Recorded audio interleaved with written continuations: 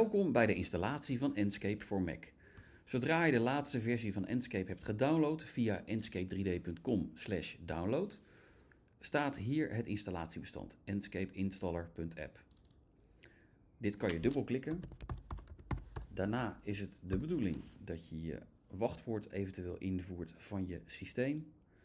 En hierna krijg je het installatiescherm.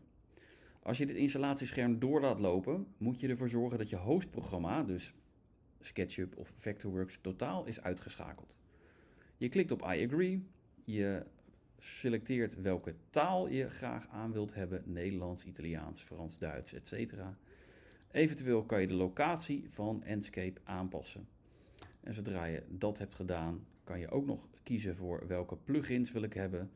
Uh, Archicad hebben we niet, Rhino hebben we niet, Vectorworks hebben we niet, SketchUp hebben we, hebben we wel.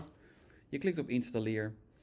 Na installatie haalt hij de vorige versie netjes voor je weg. En als hij dit heeft gedaan, staat de nieuwe versie van Enscape op je apparaat. Daarna kan je bijvoorbeeld SketchUp openen en dan zal je een uh, nieuw venster aantreffen wat, wat Enscape 4 introduceert. Je kunt hier nog eventueel kiezen voor Restart Now. Dan zorgt hij ervoor dat alles opnieuw wordt opgestart, je hele computer.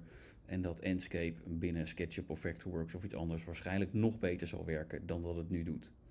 Ik klik in dit geval op Done en dankjewel voor het kijken naar deze installatievideo van Enscape.